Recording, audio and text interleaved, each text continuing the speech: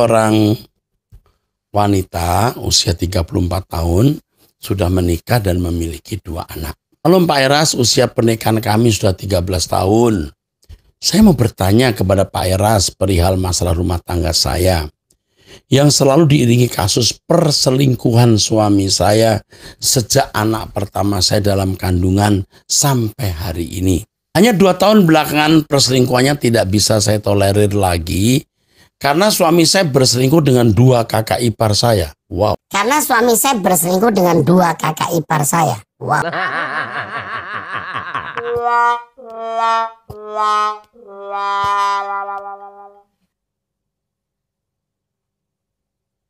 Belakangan ini berselingkuh dengan dua kakak ipar saya. Saya memiliki dua abang dan saya paling kecil mereka saling berdekatan ketika papa saya sudah tiada. Jadi saya, suami dan anak-anak menginap di rumah ibu saya seminggu sekali untuk menemaninya dan menghibur ibu saya, Pak. Sejak itu mereka mulai saling dekat, ngobrol-ngobrol dan curhat-curhat. Awalnya saya tidak menaruh curiga apa pun, Pak. Karena mereka saya anggap kakak saya sendiri dan saya tak berpikir negatif sedikit pun. Walaupun ada momen-momen ipar saya datang tanpa didampingi abang saya. Kakak ipar saya dari abang saya yang tertua belum memiliki keturunan. Dan dia sesekali sering cemburu dengan saya, mengatakan hidup saya enak sekali punya anak dan suami yang bertanggung jawab. Dan kita hanya bisa berdoa kepada Tuhan bila ada kekurangan di pasangan kita. Bila mereka bercerita tentang kekurangan abang-abang saya, saya tidak tidak membela abang-abang saya, Pak. Karena saya juga seorang istri dan saya juga bersikap netral ketika mereka curhat dan kadang-kadang didengar suami saya juga. Namun saya nggak tahu setan apa yang merasuk mereka bertiga sehingga bisa saling melakukan hubungan yang sangat terlarang itu.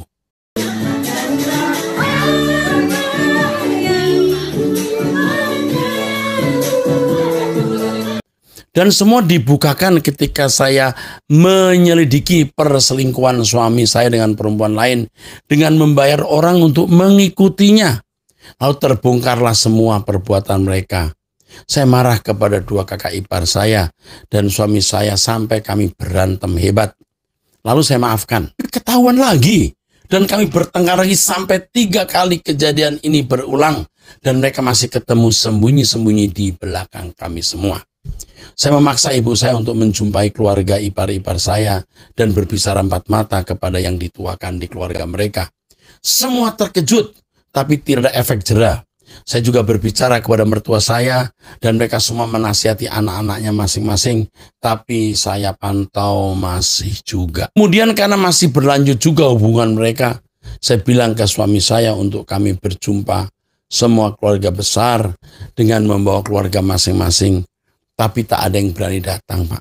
Saya juga sudah dua kali kabur dari rumah saya karena tak tahan melihat kelakuan suami saya dan mertua saya takut sekali saya pergi dari rumah karena malu pada jemaat dan ketahuan orang-orang mengenai tingkah laku anak mereka anaknya sehingga dia sering mengingatkan saya soal harta kami.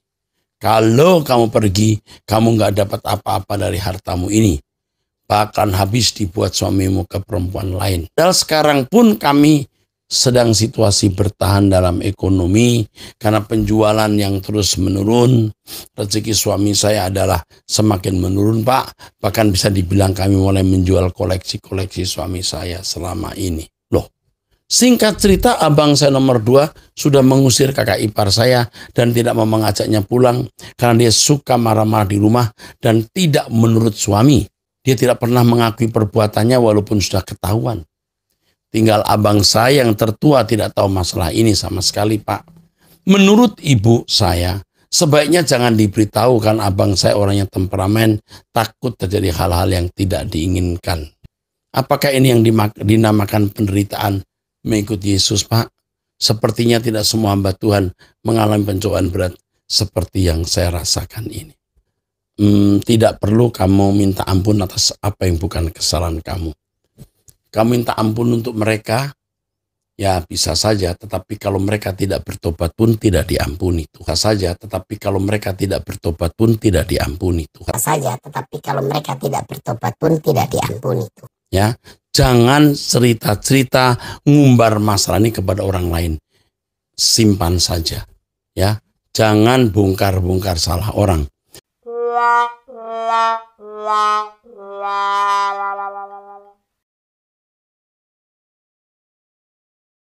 Salah-salah kamu dituduh, nanti merusak nama baik orang. Itu bahaya.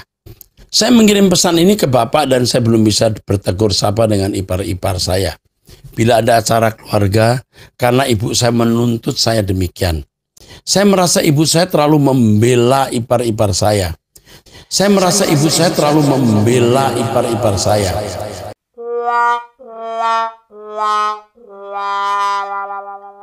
Oke, okay, saya mengerti. Mereka semua tidak tahu apa yang, yang saya rasakan. Ya, kenapa ipar saya melakukan ini terhadap saya?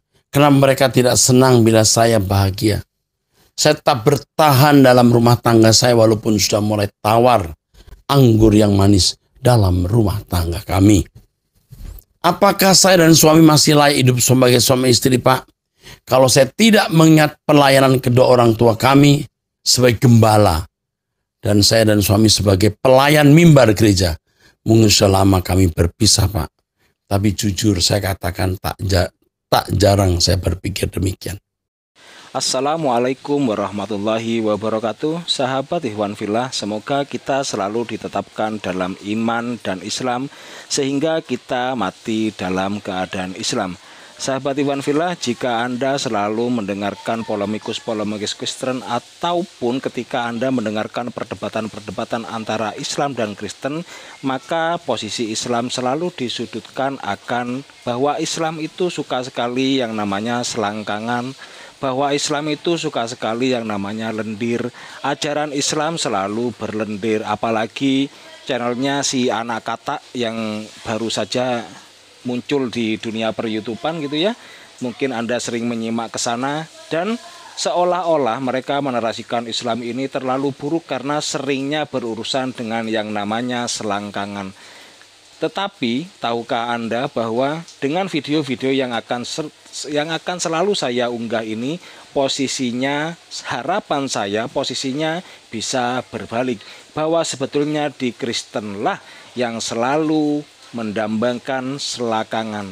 Seperti apa yang disampaikan oleh entah siapa yang dibacakan oleh pendeta Erastus Sabdono ini menyebutkan bahwa ada seorang pria yang sudah memiliki dua orang anak dan kegemarannya adalah berselingkuh dengan kakak ipar dari istrinya. Bayangkan, kakak ipar istrinya diselingkuhi sejak anak pertamanya bahkan sampai saat ini bahkan sampai ketika orang tuanya meninggal si laki-laki ini masih selalu melakukan perselingkuhan dengan kakak iparnya itu tadi padahal si suami atau kakak kandung dari suaminya eh kakak kandung dari si istri ini masih hidup istrinya istri kakak iparnya itu diselingkuhin. Bayangkan, ini Kristen yang ngomong dan pendeta yang menjawabnya itu bingung.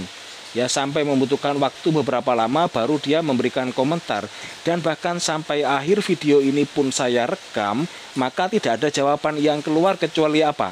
Kecuali pendeta Erastus Sabrono mengatakan jangan mempublikasikan atau menyiarkan tentang kejelekan-kejelekan orang bukannya memberikan solusi malah si perempuan ini diminta agar jangan mempublikasikan atau menyampaikan tentang keburukan-keburukan suaminya. Ya betul, memang di Islam juga ada ajaran yang demikian bahwa tidak boleh e, mengumbar aib suami, tetapi ketika ada seorang itu meminta nasihat dari orang yang dipercayai, maka pastilah akan ada nasihat. Sedangkan di video ini tidak ada nasihat apa pun yang disampaikan oleh pendeta Erastus Sabdono.